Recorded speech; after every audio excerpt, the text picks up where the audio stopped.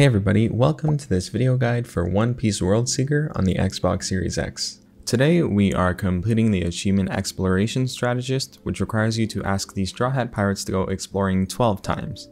Along the way to unlocking this achievement, you will also unlock Exploration Hobbyist, which requires you to send out the Straw Hat crew members only 3 times, so you'll get 2 achievements out of this guide.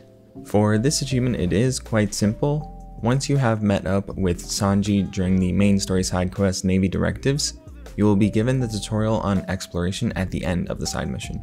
The process for exploration is, simply put, send out crewmate, the crewmate returns with materials, and then send out a crewmate once again, so it's like a rinse and repeat process.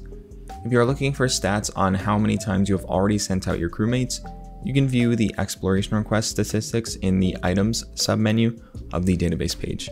Now, once you have completed the tutorial for the side mission, you can continue to head to the Sunny and talk to Sanji to continue to send out your crewmates. In the exploration menu, make sure you take a look at the duration of the trip that the crewmate will take.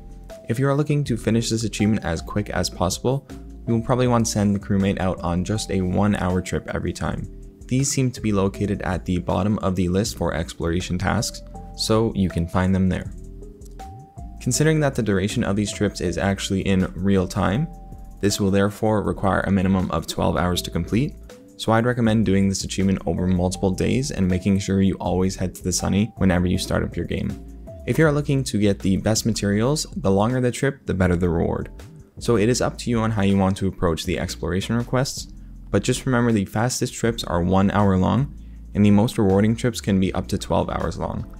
So if you do one day at a time, then 12 hour exploration trips may be worth it. Now, once you have made your 12th exploration request, the achievement will unlock for you as soon as you send out your crewmate for the 12th time. And that is all that is required for this achievement. I do hope that I was able to help you and provide you with some useful information that will lead you to unlocking this achievement. Please, if you did like the video, stick around and subscribe to my channel because I've got a bunch more videos coming out for One Piece World Seeker, I've got a few games lined up as well. Thank you so much for watching, and take care.